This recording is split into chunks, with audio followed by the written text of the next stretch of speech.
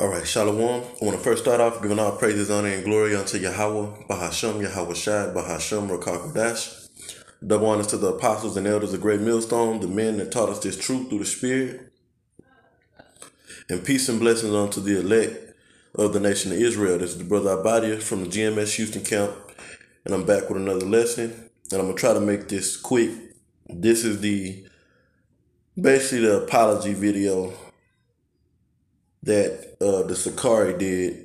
The leader of the Sicarii being uh, he go by the chief, I think chief priest, uh, Alazar, and also uh, Gorilla Hebrew. And you know they apologized, but what they were also doing was going into apologize to saying that they offended the nation, and they apologized, but they want to give the details on what actually all went down. And I'm not here to go into breaking down this video or speaking on where they um all the things they went off on, you know. But I will uh speak on really one thing in particular and I'm gonna let piece of this video uh play and then I'll uh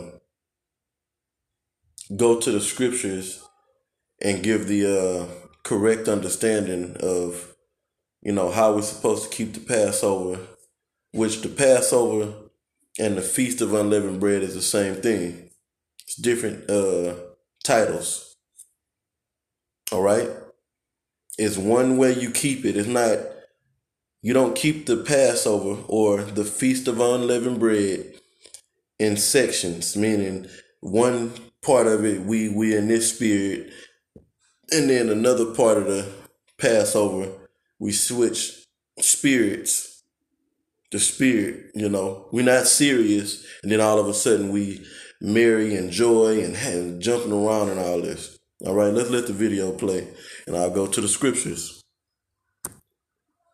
Standard rent out procedures are tended to, but we needed it from five because, of course, we're not having no late night Passover, right?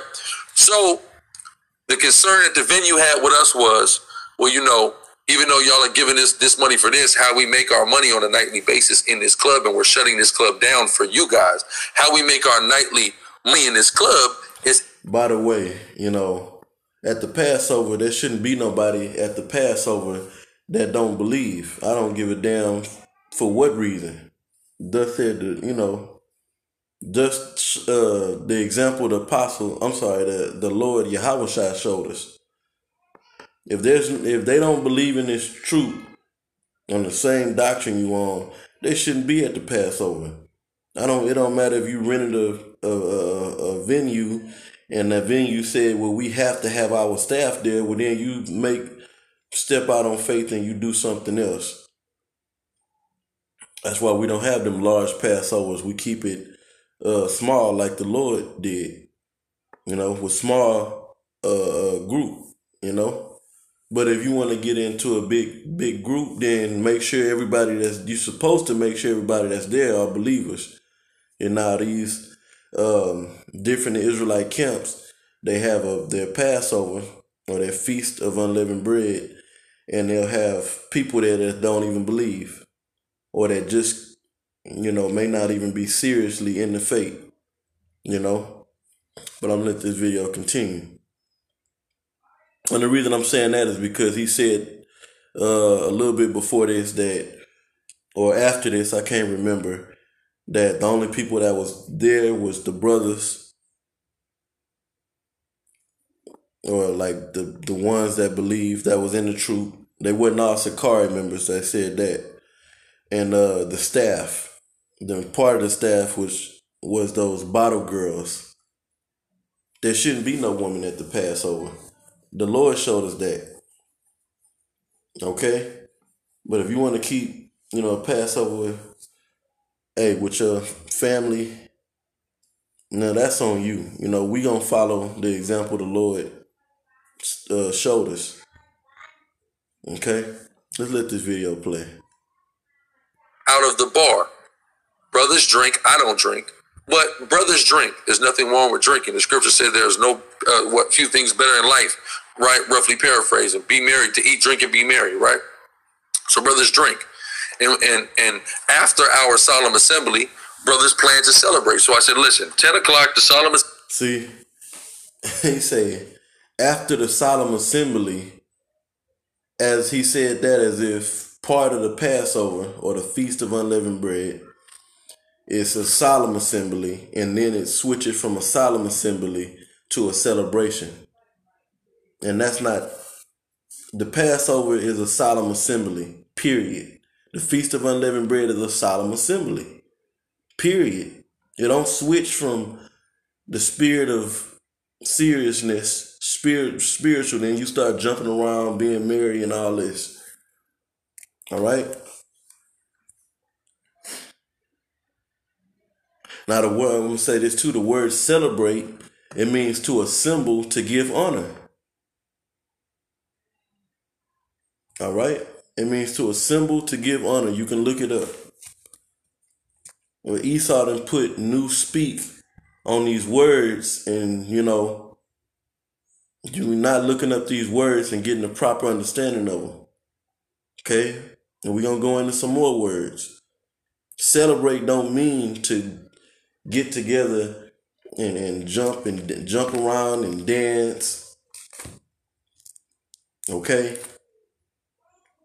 and, and be merry. We supposed to be assembling really to give uh, honor to Yahweh all right, for uh, giving us this truth that we may be delivered uh, from this new Egypt, which is America. Okay, that's why he told the disciples to drink. Uh, uh, we are to follow that example to drink the uh, the wine, or to eat the bread, the unleavened bread. It represent his body and uh, drink the wine, which represent the blood of the new covenant. And through that, you know, which that means what? Getting into these scriptures that we may receive the uh the new covenant, which the only way you're gonna get the new covenant the first go around, meaning delivered the first time, and receive those uh, our perfect bodies where the, the law statutes and commandments can be programmed into or into our mind but we got to get out of this sinful flesh. All right? So that we can keep the law statutes and commandments perfect. That's not going to happen until we are delivered. And then the children that's born in the kingdom they're going to be born into perfection or the new the new covenant Let's let let's let the video play. Assembly will be over.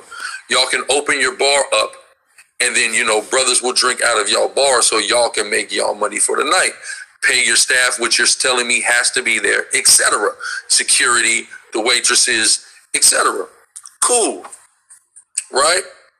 That was the negotiation. So, because that was the negotiation, that was what our understanding was. So, you know, we opened the doors at six. We started class at seven. We started our ceremony around eight. We were done by around 10.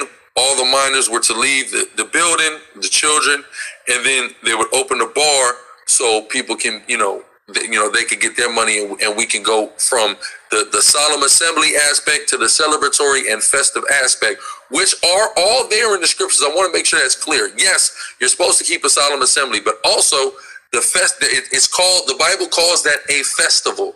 So it's still a time to get festive. Okay i want to make sure that's clear. See and with and, and this is what i believe you know i'm not in his mind. And this may be what the these other israelite groups believe you know is that when they uh because i'm gonna go and read read the scripture just give me a minute. They when they uh they look up the word feast and it, one of the definitions says festival. And they thinking they're applying the word festival in the sense of you know being merry jumping around uh, uh, uh singing and dancing. They that they actually do a lot of these groups are into rapping and shit you know? And that's not what the scriptures is talking about okay so yes it is a solemn assembly and it is a festival we're gonna go into these words. All right. So I'm done with that. Y'all heard it. He said after they got done with the solemn assembly aspect of the Passover, then they went into the celebratory or the festive part of the Passover. And that's it's scripture. It's all in the scriptures. Well, it is in the scriptures, but you are uh, uh, given the wrong understanding on what that's talking about. It's not talking about have a serious assembly, spiritual uh, assembly, and then start, you know, drinking and and uh drinking and partying and, and being merry. That's not what it's talking about. Let's go to Deuteronomy chapter 16, verse 16. And I'm going to pull it up. I think I have it uh, right here.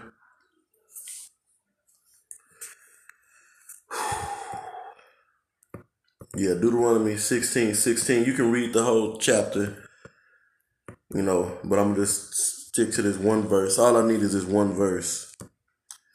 Deuteronomy 16, 16. Three times in a year shall all thy males appear before the Lord Yahweh thy God in the place which he shall choose, in the feast of unleavened bread, which is the Passover, and in the feast of weeks and in the feast of tabernacles, and they shall not appear before the Lord, the Lord Yahweh, empty. Now let's look up this word feast.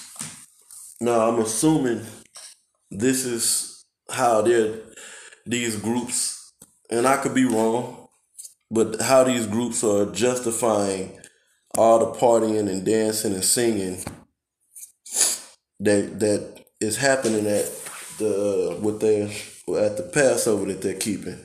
Now, yeah, you can sing, you know, spiritual songs. The best way to probably do it is to sing the songs that's the songs in the scriptures, the Psalms, which are, are songs, because it tells us that uh yeah during the Passover, Yahweh and the disciples they sung uh, a hymn. Or if you want to play some some instrumental that that carries a positive energy? Because music gives off a, a vibration uh, off uh, negative vibrational energy and positive vibrational energy okay now you may you can you know if you want to have some you know some good positive energy instrumental playing you know you can do that you know, uh, for like King David, what did he do? He used he played the harp to to rid uh, King Saul of the, the evil spirits, right?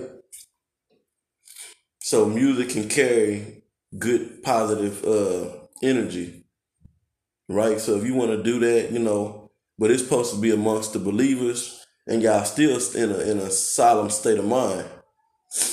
Okay, it don't switch. You don't switch from a solemn uh, state of mind to now we about to start partying and being merry and all this type of stuff, jumping around.